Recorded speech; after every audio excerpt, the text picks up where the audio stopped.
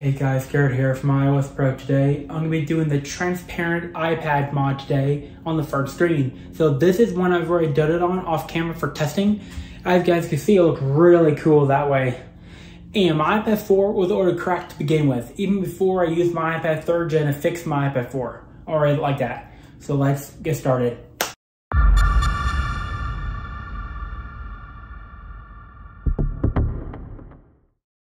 So before I get started, we'll need a few tools in order to do the transparent iPad mod. So I'm one of the very first people on YouTube to ever do this. I've seen so many tech videos from 2013 up to now, and no one has ever covered transparent iPad mods or any iPad mod before.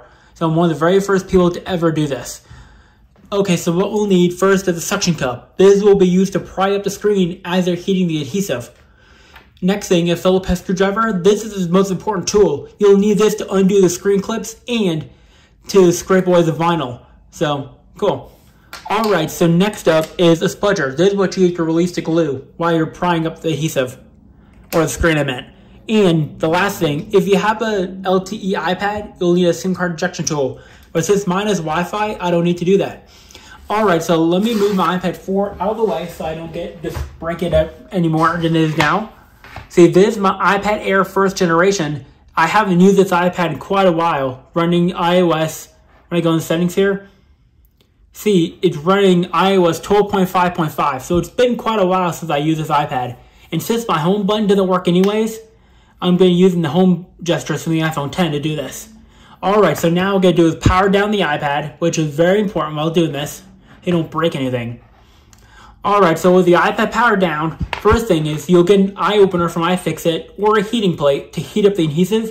But since my adhesive is already broken and weak, I don't need to do that. See, all I have to do is go over from this edge, press down, so that I just gently pry up like this. Now we're to take our spudger and gently go through here and release this glue. Just hold it like that. So I learned a little trick. If something gets stuck, you gently push down on one and gently pull on the other and it'll slowly release itself. It's pretty cool. And there we go. The iPad Air 1 is now open just like that. But every iPad will be a little different. So if you're doing this on an iPad Pro, for example, the 2018 iPad Pro, the newer, the screen will be somewhere in the middle. That's what I know. On the minis, they'll be in the corner. Just, just let you guys know about that. Alright, so now I'm going to do is put the screen and everything else on side right here like this. So this is what it's going to look like now. So now what we're going to do is take our Phillips head screwdriver and release the four screws on the corners. So going to do that now. So basically each screw is size coordinated to each screw slot. I just want to you guys know about that. So sometimes these screws can be a little stubborn. There we go, got one out. The second screw is on this corner right here. Sorry if I'm bumping my camera. It's very hard for me to do this while I'm filming. Okay, there's the second screw. Then this top one is the third screw, but my fourth screw already came out, so I don't need to do that. Alright, so there's the screw. Sometimes these screws can be a little finicky sometimes. Alright, so if, if you guys have a four screw in this corner, then you'll have to release that. So now the screen will just come up just like this. So let me go and reposition my iPad here. You guys see exactly what I'm doing. Alright, so here we go. So let me go and reposition everything and I'll come back when I'm done. So I'm back and I successfully got everything fully repositioned. So now, once you get the screws off the corners here, you'll gently pry up on this, this blade like this and set it down like this. See, this cable goes right around here like this. That's totally normal. So now what I should do is release the screws holding in the shield. So let me zoom in so you guys see this. See on the shield here, there's three screws, one here, two here, and three there. But my screw fell out during battery check, so I don't have to worry. Let me go and just release these now. But you gotta be very careful not to puncture the battery. That is the most important part about doing this repair. It's very hard for me to do this while filming. I'm doing my very best here. Alright, so there's the second screw. But it says my third screw came out. I don't need to do worry about that. See? But the shield will come up with the connector. Just like that. Let me zoom back out. And there we go. There's the LCD. Let me go and get this out of the way here. Alright, so now what we're going to do is disconnect this touchscreen, which is two little cables, like one right here, and a second one right here. Just like that. And now the screen come away, just like this. And If you guys haven't, if your home button cable isn't broken like mine is, then you have to disconnect the third cable, which is right here, so a lock hip connector. But since my home button broke back in 2017, I don't have to worry about that. All right, so we're done with this for now. So we're gonna move this out of the way so I don't damage it any further. Like it, like the home button is now, because I don't want to break it anymore. All right, so now what we're gonna do is start scraping away the glue in the adhesive. But I would recommend removing the home button flex cable, which is right down here. So if you haven't already done this for the first time, the glue will be very strong. All right, so now what we're gonna do is push the home button straight out like this. Don't lose this. So if yours isn't broken like mine, you don't have to be, you have to be careful. But since is already broken, I didn't have to be careful. All right, so now what we're gonna do is take our screwdriver and let me just reposition my camera here. So let me zoom in here so I can show you guys what I'm gonna do. Basically, we're take our screwdriver and push like this. It starts scraping away the glue and adhesive, kind of like this. As you guys can see. So when you guys do this, you can actually see it's coming out the other side, just like this. So this does take some time. Back and what I've decided to do was scrape away the old adhesive while doing the transparent mod. It makes it a little easier to get off. It comes off real easily. And what I recommend is double-sided adhesive tape. That would work best to hold the screen down after this mod is finished. But a disclaimer here. This gold ring that goes all the way around the screen that connects to this cable right here, that is the sensor for the touchscreen. And that is the sensor called the digitizer. And that's what allows the center finger while you touch the screen. If you break this and chip this area or crack it, then the screen will not work anymore. So it takes a lot of patience and a lot of skill and timing for us to work. And over here, while you're scraping, go around the cables. If you damage one of these cables, then your screen will stop working. Sorry, my watch went off. See, if you go all the way around here and avoid the screen, it would not look as good with the screen part, but it'll still look good anyways. So let me go and time lapse this now.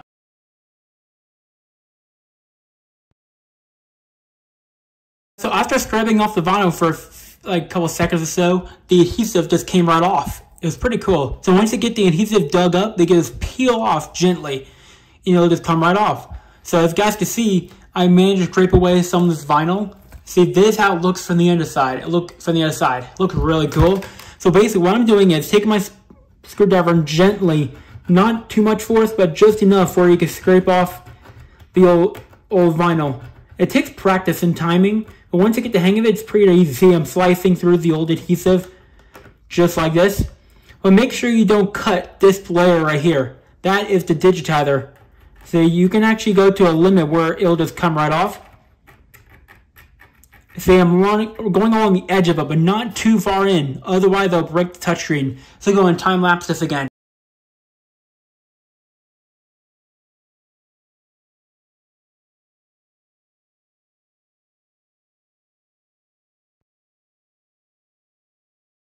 After scraping away the vinyl for a few minutes, as you guys see, it's not easy, but it looks pretty cool so far. See, I'm basically scraping away all the adhesive goes all the way around except for the screen cable area, just be safe. But along the home button is where the hardest part is. You gotta be very gentle with this. So for the home button, it only scrapes properly in one direction. So you gotta watch out for see how I did that. I basically scraped very gently. I didn't go too fast. Make sure you're going like this, tilted at an angle. See how my screwdriver is? So very gently. And there we go. You guys see I scraped away the home button vinyl. It looks sort of like that. So let me go and time lapse this more.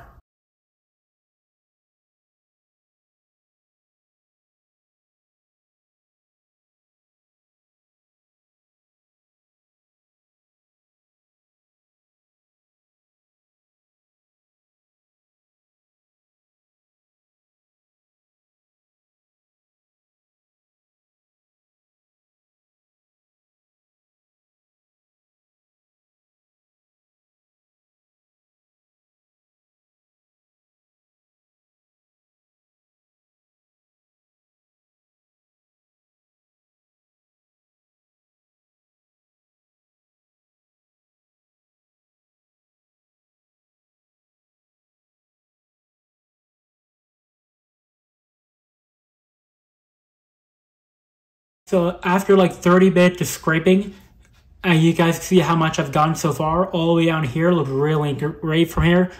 See, so far it looks really good. See this outline right here it's creating? I didn't scrape, that's the digitizer sensor. If I scrape too far, I'll break it, so I cannot go too far. So I can only go around the outer edge like this. So I've started work around here and up here, but I did chip the glass just a little bit in, in like a tiny spot right here. So I have to be careful there. So there are some risks I take while doing this, risk breaking the glass or anything else. So let me go ahead and time lapse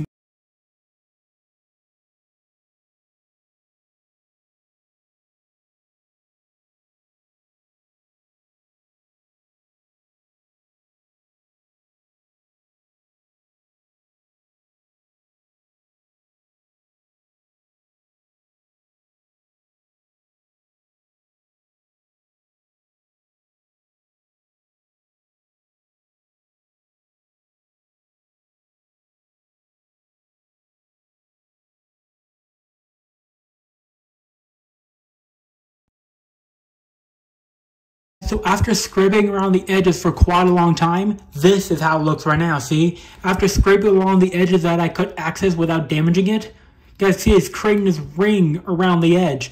In this little bit right here, the reason why I did, did not do that is because that's where the screen cables are. Now I did not want to damage them, so I skipped this area.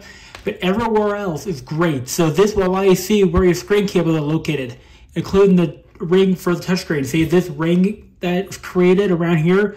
That is the sensor for the touchscreen. It looks really cool that way. So let me go and go and finish this up. Now come back, I'm done. So I'm back and after three hours of non-stop scraping, I finally finished the screen and here's what it looks like now. With all the vinyl taken off, let me zoom out a little bit. You guys can see how cool this looks. Basically, this ring area right here that forms around it after taking off all the vinyl is the sensor for the touchscreen. You can now see where it's located. Same for this cables area. Now you can see where the cables are located which makes things easier. Comment below if Apple should do transparent screens or not, because the way they do it now with no transparency is kind of boring. Cool though, but kind of boring. But it would be cooler if Apple made their own transparent screen so you can see in your device without having to open it up. That would be a cool idea. All right, so to be just to make things quicker, I went ahead and reinstalled the home button already. And since my cable broke in 2017, I'm not going to be reinstalling that cable, but I will be fixing that later in the future. So to connect it, we're going to take our touchscreen cable and just get it lined up perfectly and then go and press it down. Back and I successfully got the touchscreen cables all reconnected. So now I'm going to do is reconnect the LCD connector. You got to be very careful with the LCD. It's very fragile. So make sure the connector just lines up. And there we go. So now I'm going to turn the LCD like this. Setting it down like this will allow me to reconnect the cable, the screen shield for the connectors. So I'm going to take my shield and put it down just like this, making sure it all lines up perfectly. Okay, so it takes a little bit of time. All right, there we go. So now I'm going to take my screwdriver and get the screws to put back in. So this does take a little bit of practice here. Give me a sec. Got one screw, which goes right over here. Sometimes this does take a little bit of practice. Okay, that's one screw in successfully. Now I'm going to go and get the other screw and I'll come back when I'm done. So I'm back and successfully got the shield reconnected. Now I'm going to gently push my touchscreen uh, LCD I meant down. Just like this. And now I'm going to put the screws back in. But the annoying part about these screws is they're sized by different length. Quite annoying actually. It just takes a little bit of practice to get these in. When you're using a magnetic screwdriver, it makes the job a little bit harder Okay, so that's one screw. Now I'm going to get the other screw, the secondary screw. Put back in. Sometimes these screws can be a little stubborn sometimes when you're using a magnetic screwdriver.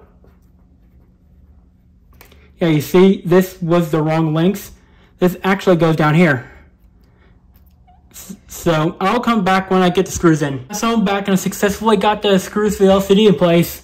Now the hard part, getting the touchscreen to line up properly. This is the hard part. You gotta make sure this camera piece here aligns up where it slots. Once it lines up, then you gently push the screen down. But since I'm to be replacing the battery soon, I'm not to put some adhesive there. But if you guys' iPad works just fine, then you don't need to do that. So this does take a little bit of practice. Okay, there we go. The LCD is now in place. Now we're going to test it. Three, two, one. Success. The iPad works. So now I'll come back when it's done booting up. Okay guys, so I'm back and my iPad's finished booting up and as you guys can see, my iPad fully works on the very first try. So I had no fails in this video whatsoever. See the control center, the mute, the, the virtual home button works. So I actually don't need the home button because I could just use gestures to do this. But I will have to make it so the touch use Siri, unfortunately, because the home button broke. Yeah, so I'm going to be fixing that home button soon. See? Home button doesn't work. But in all, it still works great. 12.5.5. So that is the transparent iPad mod. Let me put it next to my old iPad 4.